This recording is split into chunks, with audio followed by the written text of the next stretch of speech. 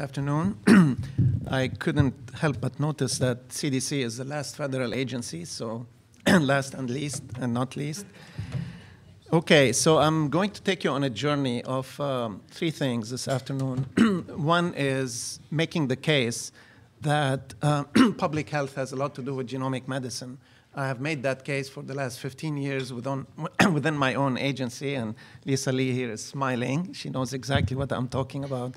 I'll tell you briefly about uh, some of the experiences we've had over the last 15 years. And the, I don't want to revisit the past, but I think the past can be uh, a very good medium for uh, food for thought because a I, I, you know sort of I want to thank NHGRI for having this discussion. I think the time is now more ripe, ripe than ever before. I tried to initiate some of these collaborative processes when the time wasn't right. So at least you'll get that experience and uh, tell you a little bit about our priorities for the next five years. So for those of you who don't know, public health is about efforts organized by society to make uh, people be healthy. This is a couple of IOM reports. We have really three essential functions, and CDC is one of, uh, one of the main public health agencies. And primarily, we deal with health departments around the 50 states, but we deal a lot with healthcare.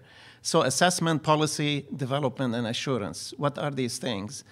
And let me tell you a little bit about CDC first. CDC is about improving health and preventing disease. Some of you know about CDC because of uh, outbreaks and global security and so on and so forth. But there are two other priorities that you may or may not be aware of, and there are programs for everything from cancer to heart disease to diabetes to infectious, non infectious, uh, maternal child health. Essentially, better preventing the lead, leading causes of illness, illness and, and disability. And if you think about those leading causes of illness, most of them, if not all, involve genetics. So at least it should be uh, foregone conclusion that the public health agency should be thinking about genetics. And the third priority, which is uh, uh, of intimate um, interest of the current CDC director, is strengthening the public health healthcare collaboration space. So uh, for the last four years, CDC has focused on so-called winnable battles I don't want to go through them, but these are things that uh, we believe progress can be made in implementation uh, in, in programs, and you can decide on your own whether genetics or genomics has anything to do with these. so I want to tell you a little bit about two functions at CDC.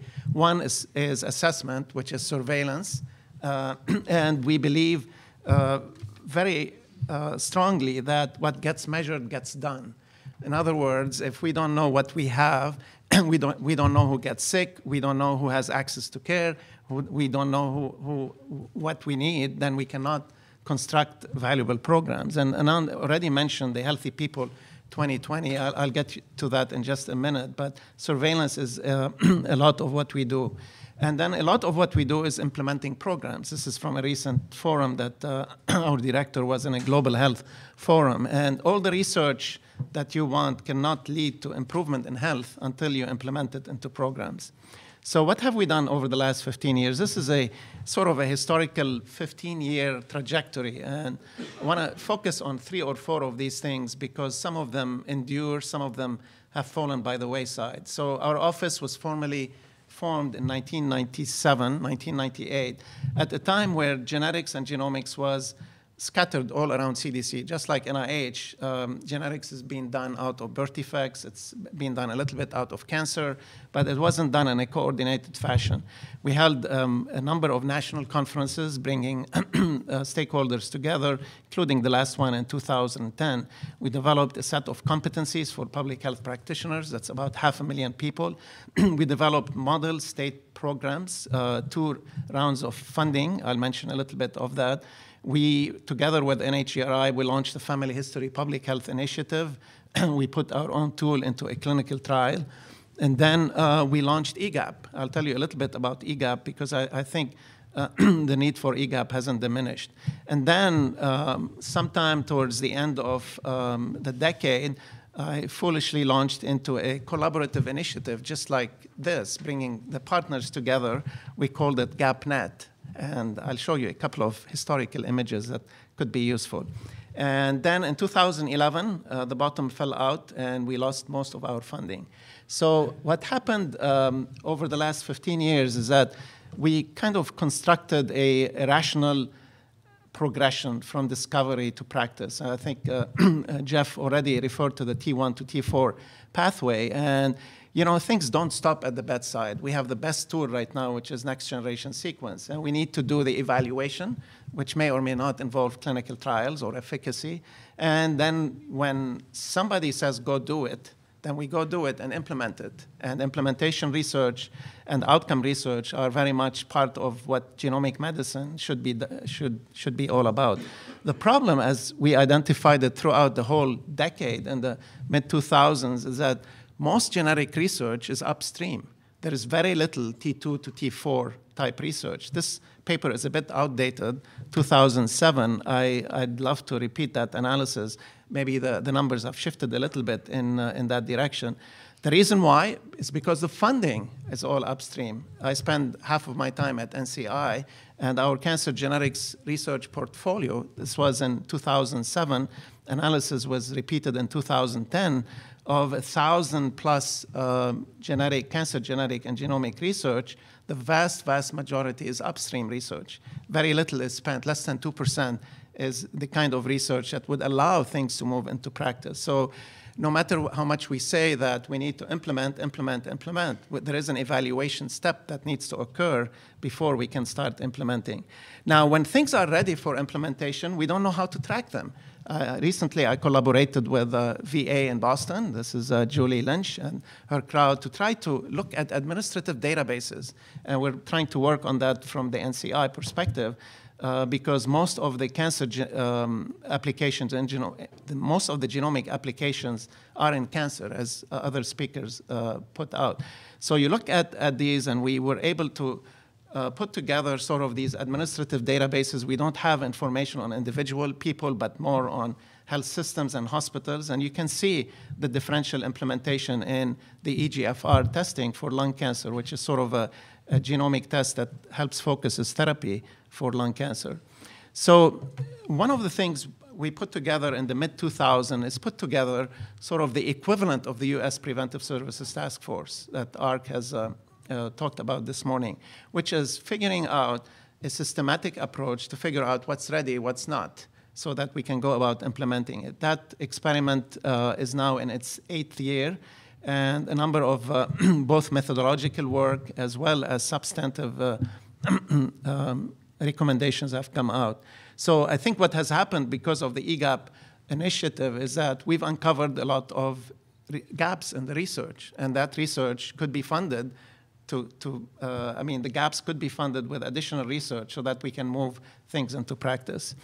Now, towards the end of the 2000, I put together this, uh, this uh, working group. Uh, very much some of the people around the room, actually, uh, were part of this inaugural discussions where we had on GAPPNet, and some of you may remember. I, I, saw Mark Williams in that picture, and so I saw Jeff Ginsburg. Ron, I don't know if you were there.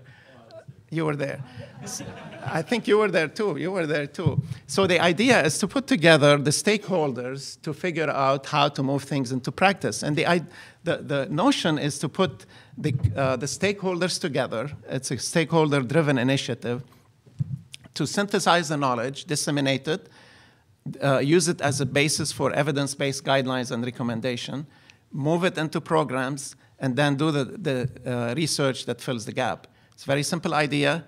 The time wasn't right for it, and but the idea behind it still stands. Is that you know as the upstream research keeps pushing down more and more cool tools for uh, for use in practice, we need to synthesize that knowledge, move it into guidelines, implement it in programs, and then do the research that, that fill in the gaps. So that's all history, and now to the present. So what has happened since 2011, when our office lost most of the funding, is that, you know, when you have this kind of a near-death experience, you, you kind of grow, you know, wake up and say, okay, there, there is life after all. So we did a, a number of consultations that led to uh, two reports. I'm happy to uh, send them to you if you want them. One is a priority report, which was published in 2011.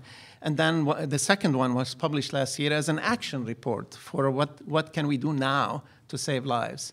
And um, before I get too far, I just want to mention this because this is a a placeholder. This is something that CDC is very much interested in, which is the use of pathogen genomics for acute outbreak investigations. This is uh, an initiative that our director has been uh, very enamored about. It's called AMD, and that doesn't stand for age-related macular degeneration, but advanced molecular detection. And it's very contemporary, and it's going on as we speak. So what has happened over the last couple of years, and I'd like invite everyone to look at this website, is that we've taken sort of the bull by the horn and said, okay, EGAPP cannot do it all alone. Uh, U.S. Preventive Services cannot do it all, all, alone. Let's see what's out there in terms of what we call that tier one, tier two, and tier three. And the tier one is sort of when you know, somebody makes an evidence-based recommendation on the basis of uh, a systematic review of the evidence. And tier three, when we don't know what's going on. Tier two is where sort of that wiggle room is, when you have enough information on clinical validity, but promising uh, information on clinical utility. This is a busy slide, but it captures essentially where we are with this. And um, we've identified three or four applications. Of course, newborn screening, uh, subject we don't talk about, but it's uh, the ultimate tier one application. It's in, uh, you know, all 4 million births are screened ev uh, every year, 4 million babies to find uh, 31 or 32 uh, mostly genetic conditions. So, um, you know, you can see where you are on the continuum, and I, I, think you have to start with what you know today in order to drive both research and practice. That's why, you know, knowledge integration and knowledge synthesis is something that we really uh, subscribe to. I want to describe briefly these three applications. We've already heard about Angelina Jolie, but uh, there are two others that are equally uh, tier one in nature because they've been um, recommended by uh, evidence-based panels. And the sum of these results, basically, these are not genomic things. There are single gene disorders from the old genetics. Uh, I mean, there's not much from the new genomics that has made it all the way uh, to recommendations, with the exception of cancer. And what's really unique about these three conditions is there are about 2 million people already affected in the US. And from the little bit of evidence that we know, the vast, vast majority of them don't know they have it. So there are lives to be saved right now. And that's sort of the, the action items that we've been focusing on over the last few years. And you, you can, you, you know, this is one of many, many papers that recently have appeared. There is underutilization of BRCA. So U.S. Preventive Service Task Force made a recommendation that about 5 or 6% of women with certain type of family history or ethnicity be referred for genetic counseling. What's happening in the real world is much less than that. And if you look at uh, Lynch, uh, this is the same with um, uh, sort of uh, the analysis in Michigan, where, where in the last three years, they used um, education to educate healthcare plans to adopt in Michigan to adopt the um, um, the U.S. Preventive Services Task, Task Force recommendation, and this was before the Affordable Care Act. So just from public health, educating healthcare plans, more and more adoption and coverage of BRCA genetic services were were done in in Michigan as a sort of a public health issue. Uh, this is the EGAPP recommendation. It's one of the few positive recommendations that came out of the EGAPP working group. We heard Anand mention this earlier. But you look at the real world, what's going on in practice. Of course, uh, you know, we, uh, implementation always lags behind. Uh, academic centers always implement first. So the disparities, uh, the equity that, um, uh, that you heard about uh, from Carolyn Clancy earlier this morning is very much on our mind in, in public health because we want tier one applications to be implemented to save lives for everyone, and tier, tier three and tier two to, to be studied a little bit more. So with a little bit of funding and mostly networking, we've established uh, a uh, sort of a, a, Lynch syndrome screening network that's very much alive and well and been trying to integrate uh, uh Lynch screening in, I think, more than 90 um, academic centers as well as uh, community centers. Some of you are even involved in that network. So uh, I won't dwell too much on the Healthy People 2020 objectives, but um, a few years ago, uh, a few of us, including HRQ, NIH, and, and NCI, put together you know, we tried to look for these healthy people 2020 objectives. And I think I was on record saying I got depressed because of all the genomic stuff that's going out there, we only could find two things that we can track over the next five, ten years. And there are very specific, and Ann can tell us more about what goes into the Healthy People 2020. There are many, many indicators, and we need to track them, uh, you know, like physical activity and diet and uh, screening. And you have to have data sets that can measure progress. And for much of genomics, we don't have those data sets. The CPT codes may change this. You have to have evidence-based recommendations to, uh, to track that. So we were lucky that we were able to add BRCA and Lynch as a, as a developmental objective. And then we were uh, working with states and um, working with states to try to uh, begin to measure, implement, and, and, and, do what states do, which is working with the healthcare sector. And we uh, worked with Oregon and Michigan uh, for a while uh, until um, uh, basically uh, the Division of Cancer at CDC, and you heard Carolyn mention this morning about how the cancer registries are now being used to track progress in genomics. And you know, each state has a cancer registry. So all 50 states, and by definition, are able to register and do surveillance on all new cases of, of cancer, wh whether it's colon cancer or BRCA and, and others.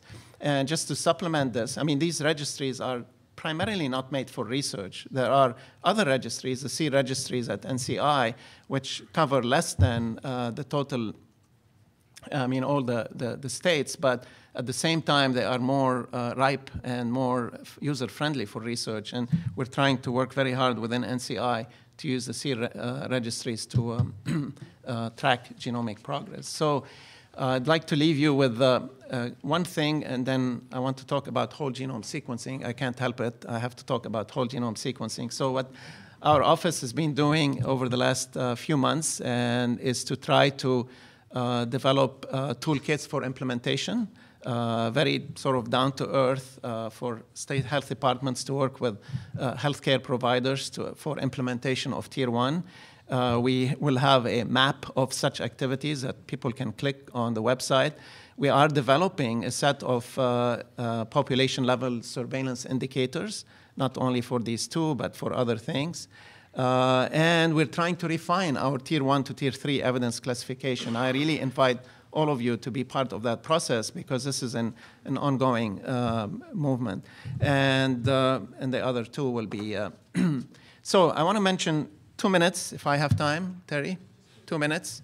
Whole genome sequencing. I think it's both our curse, but at the same time, uh, maybe provides the best opportunity to move forward, really, and I mean it. And I think a systematic approach to whole genome sequencing is being adopted, adapted, and NHGRI is taking the lead in, in trying to move it into, uh, into practice. And the, my only bias is that whole genome sequencing for the diagnosis of rare, mysterious diseases is not going to cut it from a public health perspective.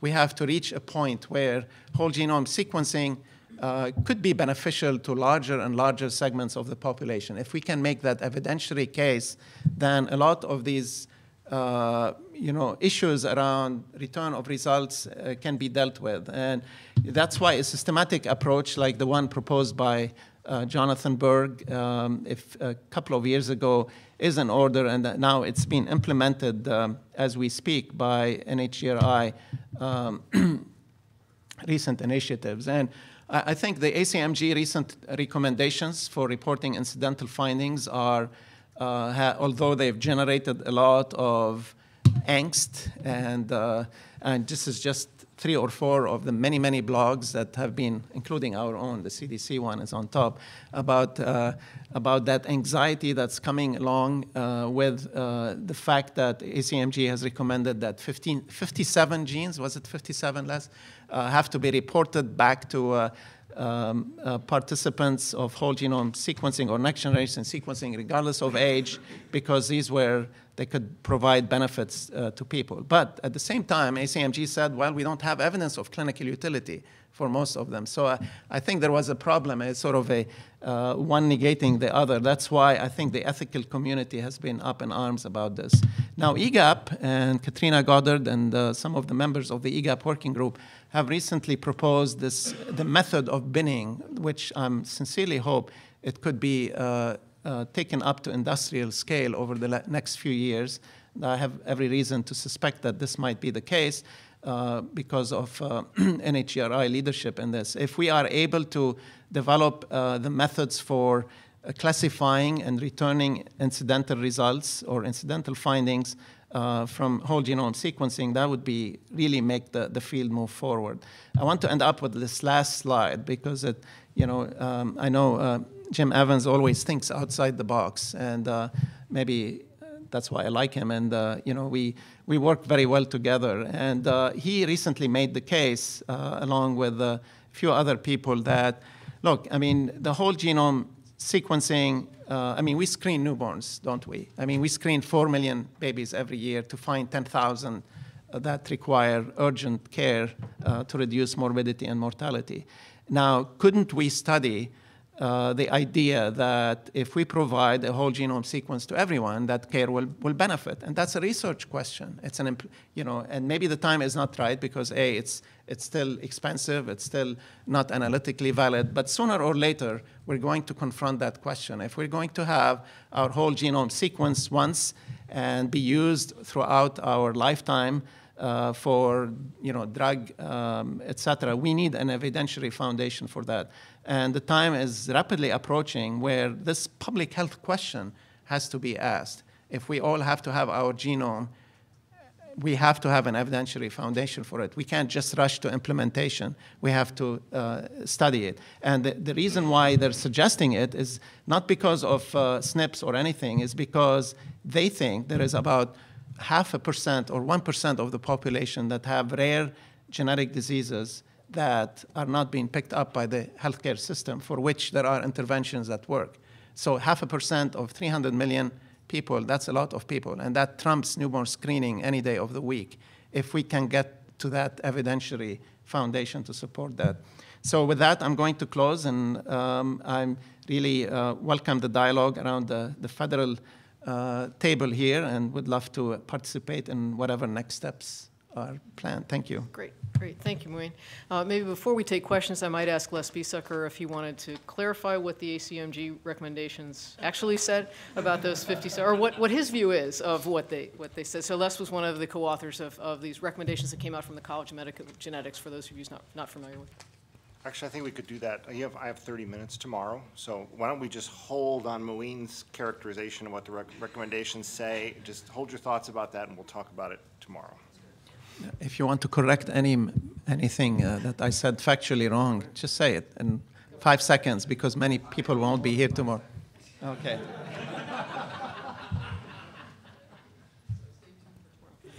Can I just follow up on, uh, we screen newborns, don't we? So what, what's the current cost for screening for a, newborn, a typical newborn? See, I, I don't have those numbers, and I don't know if there is anyone from the newborn screening community here. The problem with newborn screening, not the problem, the newborn screening grew organically over time. And the first time it was done in the 1960s, it wasn't done with an evidentiary foundation. It was like after PKU. And then the incremental cost of adding more and more to the panel became less and less. So it started with PKU, hypothyroidism, and then over time, uh, more things were added. And then it became a state uh, occurrence, and now there is an advisory committee that uh, advises HHS on sort of uh, what should go into the panel. And I think they just added Pompe's disease last week or the week before. So I, I think we need something probably, I mean, see, give, you know, newborn screening is a public health program, whereas genomic medicine is implemented by the Blues, by Aetna, by United Healthcare, by the VA. But we need something a little bit more uh, rational for how we go about implementing it. I'm not necessarily calling for an advisory committee, but something like an EGAPP-like process. I would call it EGAPP 2.0 or 3.0. But you know, short of that, everybody is going to implement it any way they want without the required evidentiary foundation uh, to do it. And if, uh, as long as I want to say something here, I was surprised with uh, Joe Selby saying that he didn't get too many genomic applications. I mean, I've been advertising PCORI, PCORI, PCORI, and it's patient-centered, patient-centered. So I don't know why people are not applying. And so thank you, Mark, for announcing that you are applying. I would encourage as many people to apply to get PCORI funds as possible. If I could just respond, uh, because I think, again, we do a lousy job in, in our healthcare system of actually understanding costs. And so, you know, much as we talk about the thousand dollar genome, and what that really reflects is, is, you know, the cost of, you know, the reagents and, and doing the test. In the same sense, newborn screening is the same sort of thing. And we have 50 plus different ways of actually paying for that uh, where some states, you know, really have it as a public health program where um, up through confirmation, it's fully funded by a state program, whereas others are a mixed model. And, uh, and so for analyte screening, you know, generally the, you know, a few hundred dollars is, is the, you know, the cost that is bandied about for the purposes of budgeting. But when you add things in like uh, hearing screening, uh, or uh, congenital heart disease screening, which now involves um, audiologic evaluations and echocardiograms and pulse oximeters and these sorts of things, that's a very different uh, modality. But I think the, uh, where there is similarity is if we think about the um, tandem mass spec, which is, you know, was again implemented uh, because of economies of scale. Uh, for the most part, and the fact that we could detect things that previously were not detected by newborn screening. But what it's done is it allows us to look at a lot more disorders at essentially a, uh, a zero uh, marginal cost, uh, at least for the analysis. Now, the follow-up is a different issue. Uh, and that's, again, I think what a lot of us are worried about is that if we blow everything out there, that it's not going to be the cost of the testing, but it's going to be the cost of the follow-up. Uh, that's going to be um, uh, the problem. I think the, the difference, though, is, is the persistence of the information. And I would push back a bit with something that you said, uh, although it may have just been the way you said it, uh, not what you truly believe. But I would argue that if you can make the case to do a whole genome for, say, a child that has a rare undiagnosed disorder, um, that that's a good investment if we keep all of the information and reuse it over time. So we're essentially amortizing the cost of that genome over time. So whatever the indication that first gets you the genome, if we only use it for that indication, it'll never be uh, cost effective. But if we capture that information and reuse it over time, that's when we really begin to see some of the economies of scale. And I, I agree completely with you. I don't know what I said that made, made you think this way. What I meant to say is that if we're going to introduce the whole genome sequence, uh, introducing it only for the diagnosis of rare mysterious diseases is not going to reach a substantial fraction of the population. And you know, when you do, which I agree that the indication, I mean, the yield may be increasing as time goes by, yes, I agree with you. You can still use that information, uh, whether it's 57 genes or uh, no matter what th that number is. But from a public population perspective, I think introducing the genome on a larger scale is what I'm after, but it has to have a strong evidentiary foundation. And I think the case that Jim Evans is making is that the strong evidentiary foundation initially to do the initial testing is not what people think it is, which is polygenic models uh, or SNPs and you know GWAS, but more of a newborn screening-like model. Is let's find you know the Lynch syndromes and the familial hypercholesterolemia because that's about half a percent to one percent of the population that currently are not being served by healthcare. And then, then once you have that information, then yes, all that quote incidental findings will have to be rolled out throughout a lifetime with a lot of studies that can be done with it. Now, I don't know how soon will, will this happen, but I think we need to start thinking about it. We need to start uh, discussing it. We need to start doing research to, uh, to see its added value. Uh, but I'm assuming that's what sort of uh, what the whole purpose of the whole gen- the genome project was to begin with, is to have that genome sequence available for healthcare and disease prevention. Great, thank you. Uh, Jeff? Yeah, I'd, I'd like to take advantage, Muin, of your 15 years of experience in building networks and tools for advancing genomics into public health and ask you for some advice about what we're going to Oh, do me? in the next, uh, after the break, you know, in terms of trying to potentially organize the federal agencies into a cohesive and effective effort. You know, what you, you mentioned, for example, uh, around, around genomics Sort of uh, from around genomics. Um, You know, you mentioned, for example, the failure of, of GAPPNet, and I'd really be curious as to what advice you have and, the things that we should be paying attention to, and what are some of the lessons learned in your experience? See, I, I think the partners were very um, enthusiastic. At least you can see from the picture how happy they were. I think two things happened. Uh, we lost the funding shortly after these big events, so I had no more fuel to add to the fire. So that's case closed. But more importantly, and I think some of you were involved in these discussions, there was no uh, overarching theme that people were pushing forward. And I, I think what happened in the 15 years period from 1998 to 2013, remember 1998, we only had candidate genes. We, you know, the Human Genome Project was only, you know, almost done. And we went technologically from very little to an explosion of tools and applications over just the last couple of years, and that will continue. So I, I think the purpose of a network uh, or a network of networks and stakeholders is to try to coalesce around very specific goals that could be studied, could be inform research, could inform practice. And I mean, my, my advice is very simple. The, the goals should be as quickly as possible to implement tier one applications. These are the applications we know that can save lives now.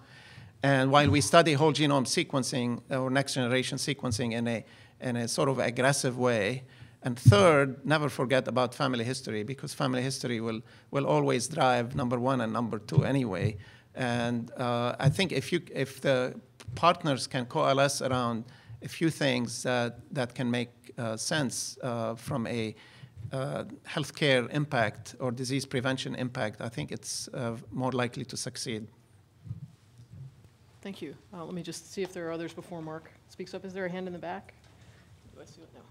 Uh, Okay, go ahead. Yeah, I just wanted to follow up on that. I, I would add one more thing to what you had said, Muin, and uh, I think we saw some of this in the, in the EGAPP stakeholders group, which we, uh, which wasn't on the list for probably pretty good reasons. Um, But I think that one of the issues, and this is an issue that affects uh, NHGRI activities, and that is that, you know, we, uh, for pragmatic reasons, are heavily uh, reliant on volunteerism. And, you know, the, the, the reality is, is that there's just so much capacity that uh, volunteers can bring to an effort unless you really have a strong value proposition on the back end, which is, if I participate in this on the back end, I'm going to really get a lot of value out of it. And I think that's where EGAPP Stakeholders Group was trying to go, was to define that value proposition, and we, for a variety of reasons, weren't successfully able to do that. But if we can actually define the value proposition, as Carolyn was talking about earlier, where we can really say, you know what, if we can pull this off, then this is how I as a payer, or I as a healthcare system, or I as a doctor, or I as a patient can really benefit from this. Now you've added impetus to say, I'm willing to pitch in and actually give uh, freely of resources to really make sure that we accomplish this. And so in some sense, I think that's the end goal. And the public health perspective is a very strong perspective that I think is a very high value proposition, but only for a subset of the stakeholders that are engaged in that. Even though when we all really sit down in the cold hard light of day, the reality is we're all practicing public health, or at least we should be. Uh, we should be thinking about it from that perspective, not just the person that's sitting across the table from us. So. Can I just add one more thing to Mark here? Um, the world of public health is still very skeptical about genomics, and for good reason. I mean, that's one reason why I lost most of the funding, is because, you know, there are so many things we know what to do, and they're not being done. So show me how genome sequence is going to, you know, improve health and reduce healthcare disparities right now. So, I mean, in the scheme of comparative effectiveness research, whether it's clinical or public health, there is a lot that's been done. So I think that that resistance uh, that I've seen personally in my own backyard is maybe also reflected in the healthcare settings, primary care, et cetera, because they, there's many people are not convinced of the added value. So as long as NIH and other, some of the stakeholders around the table are willing to invest the, the value proposition to show that, in fact, we can improve health outcomes. We can actually diagnose more, we can uh, you know, lead to better screening recommendation, personalization of drugs, et cetera. But that has to be supported by research. That's, we cannot skip T2 to go to T3. We have to do that T2, and we have to get evidence-based panels, whether they're professional societies or USPSTF or EGAPP, to actually make pronouncements after they look at the data that actually it does make a difference. Uh, and I think there will be more adoption on a larger scale, um, and that's my hypothesis. Part of my takeaway from participating in EGAPP was that the process of evaluating the evidence took so very long, predominantly because the evidence was so bad in general around genetic testing. And so I wonder if there wouldn't be a better approach if we could actually design the studies that are needed to answer the utility questions and then do that research on a population basis, not necessarily through randomized control clinical trials, because that's not the reality of clinical care and practice out there in the, you know, in Vermont um, or wherever. And so it, it's a, it was a bit frustrating participating in that process. And I don't know how we get to the core questions that really would have a great impact on patient care and do those. Because no matter who you talk to they have their particular disease of interest or their and they're not really looking at the the most critical disease processes or the most costly sorry but cost is a big factor um, even if PCORI won't fund it or the most costly um, uh, disease processes in the United States and design the the the research programs on a national scale using real clinical care to distinguish what we should be doing? So just to answer your question, EGAPP went through an evolution. I think uh, Mark has witnessed it because he was on the stakeholder group and now sits on the EGAPP working group. Uh, I think the last couple of years, the first two years where they're trying to figure out what to do. They're developing new methods. Uh, each um, uh, systematic review took a year although we kind of knew what the answer was before you did it, so why do it? So they were trying to uh, refine and define the processes. The last couple of years, however, they published new methodologies. Uh, David Veenstra's paper last year, uh, have, their output has uh, quadrupled, so they have four or five new things, and uh, give Mark some credit here, but it has gone through an evolution uh, over the last two years. It's too bad because the stakeholders kind of disappeared at that at the crucial moment where we needed them. And the reason why they disappeared is because I couldn't fund them anymore.